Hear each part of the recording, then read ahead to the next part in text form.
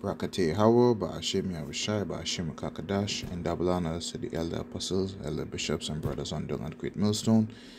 Salutations to the whole elect. This is your brother Rai Banyamyan, here to share another lesson. This one would be called Ease Greed Has No Bounds. You know, as um, you know, thinking about the financial situation, you know, and stuff in the world and in, in this country and um, I happened to come upon this old article, which was, you know, uh, pretty much two years old, you know, about, um, you know, ease greed, you know what I'm saying? So I just want to um, share a short article, real quick, you know, about his um, his wickedness and how he is not, um, you know, satisfied. And what I'm about to read, y'all will see it playing out in today's society. So, you know, read the article, um, share a few scriptures, and close it out. See, it's not going to be too long. All right, so the title, Slack here, the website is um, DTSS. And it says who founded the title, who founded capitalism. It was published on um, November 12th, 2020. Continuing on, it says um, the Romans who founded capitalism are believed to spread it to European trading partners. They just amplified it. Um, they changed it uh, in a larger, various form and amplified it. Kind of like um, you know, the scriptures how you know we would have um, servants, and it's okay with the Most High but Esau take unto himself um, slaves. Yeah, he would sleep with the slaves' wives, you know, their children. He would rape the men, rape the women, and so on and so forth. So he just amplified um, the form of capitalism. Uh, it says um, the current economic downturn and suffering has been the product of capitalism, and this has made people think about who founded capitalism and when. Capitalism is believed to have existed before the Roman era, and there are evidence of it in cultures of China and India, pretty much the East. However, some economists believe that it was the Romans who founded capitalism and spread it to their trading partners in Europe and Middle East. The present day capitalism has lost all its purpose and meaning, and it has been the cause of numerous economic and societal problems. This is primarily because of the rich and powerful people who control the means of production and the entire market. Yeah, this reminds me of um one time I was looking for is a particular lube or um that you use to like stick you know panels together.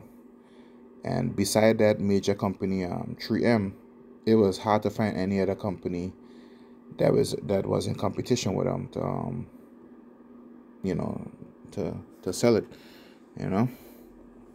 To and that's one of the way um Esau get rich by limiting you know competition by taking full control of um, of a market like it says here it says the government which is supposed to have very little interf- interference favors these elite people by making laws and regulation that benefit the corporates and their elite owners.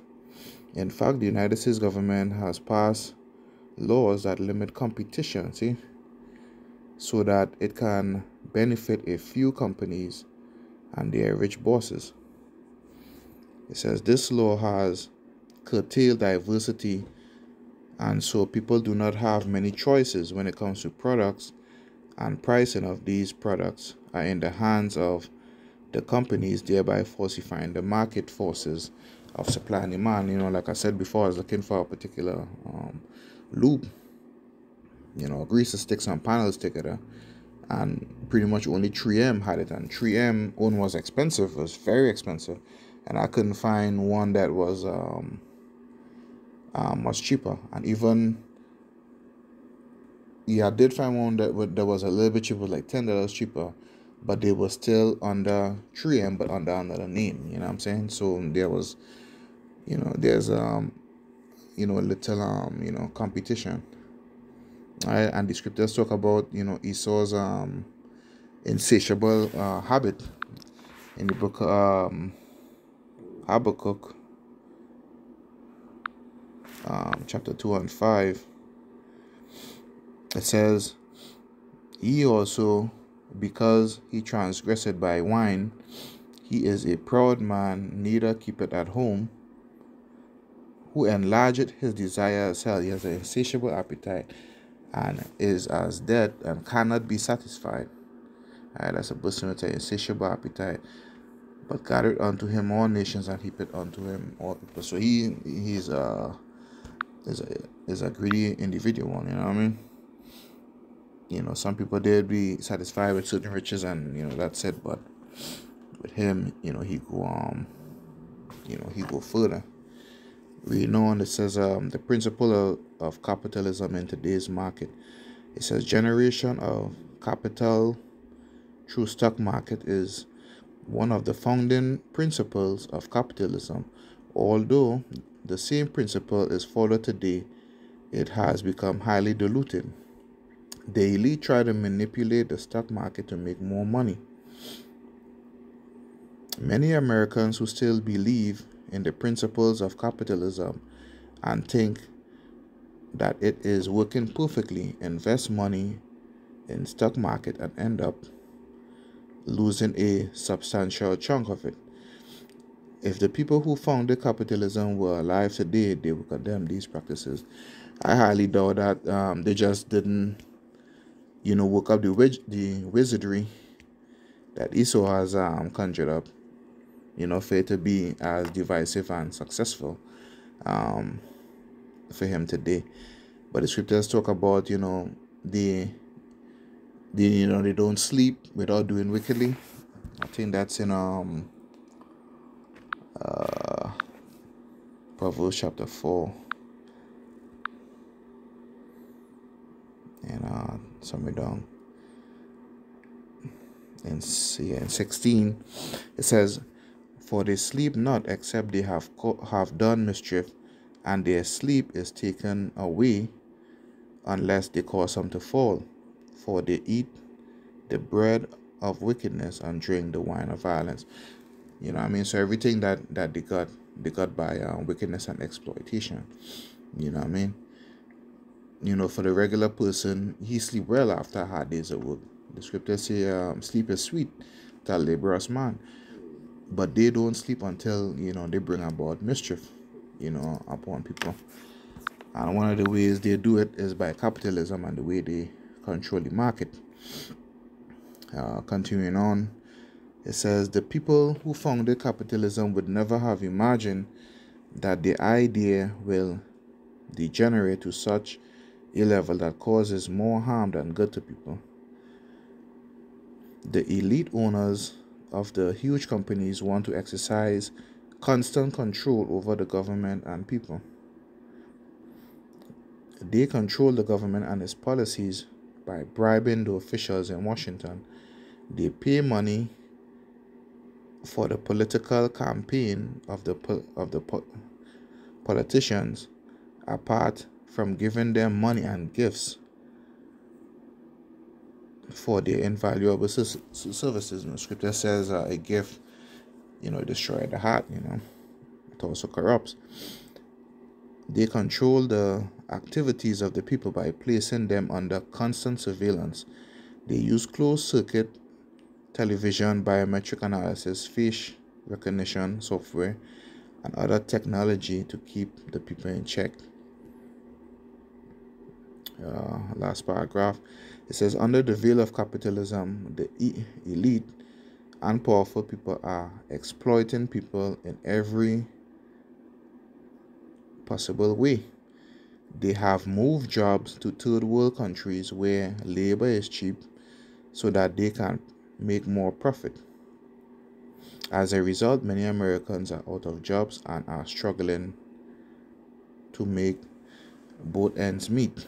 Now, you know, if you you look at um, you know, the scriptures in Leviticus, they talk about you know leaving, you know, something behind uh, for people. Let's see if I could find that. Uh, yeah, so Leviticus 19. because they just you know take everything. Scripture say you know leave something behind for people.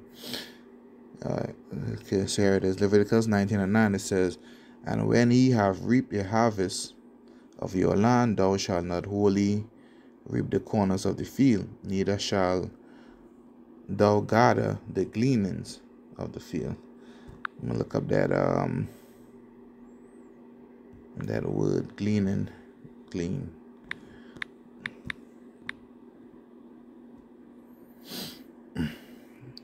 Says to gather by acquisition, to scrape together, especially greens left in the field after harvesting.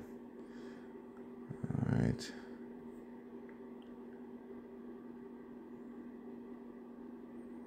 All right, so you're not supposed to um, pick everything. Now, verse 10 And thou shalt not glean thy vineyard, neither shalt thou gather every grape of thy vineyard. Thou shalt leave them for the poor and stranger, I am the Lord your God. You know, and as I see here, you know, he don't um you know leave anything especially you know with the job, you know, he, he even take that um and stuff too. You know, you know, he, he has his greed has no bounds, man. Um continuing on it says one of the tenets of capitalism is mobility of labor, where people have the choice to work for any employer. By moving jobs to other countries, the capitalists have effectively taken this choice away from people. The ordinary people who are affected must learn to understand the true ideas of the people who founded capitalism and must take steps to eradicate this pseudo capitalism that exists. Like I said before, um, these so called European founders of capitalism. They just didn't have the mindset to, or the wizardry, you know, the method to taking it a step further. But um, the elite amongst um, Isoidom and the other nations have um, have done that. You know what I'm saying? So, you know, like I was saying, um, one of the the things that I've seen in the society where they leave nothing, you know, for the poor if you look like um like a, a lot of these uh, restaurants at the end of the day they throw good fruits and vegetables you know and food in the bin behind the restaurant. There's no line um behind the restaurant offering food to the homeless and the poor. You know i mean? That they can use you know like how it mentioned in um, leviticus 99 and 10 you know leave um don't glean everything you know. You know leave something after the harvest but they don't um they don't do that. You know what I'm saying? Last portion of scripture I want to share is in um, the book of Matthew 24 and 22. And because of his greed and his wickedness, this is, you know, one of the things that, you know, we should look forward to, you know, is the shortening of these days. You know what I'm saying? Leviticus 24 and 22 it says, And except those days should be shortened, there should no flesh be saved. But for the elect's sake, those days shall be shortened. You know what I mean? So you know the shortening these is, is you know it's going by pretty quick. Because if it Esau continue in his wickedness, you know what I mean? Ain't nobody's gonna you know gonna survive, man. You know what I'm saying? So to Wadi Habashim Yahweh Kakadash for sort for shortening the days for the lexic. Lord willing, we are part of this number. All right, so hopefully this lessons um, was edifying on Esau's greed. So pray for shorter days, pray for fewer days. All right, shalom.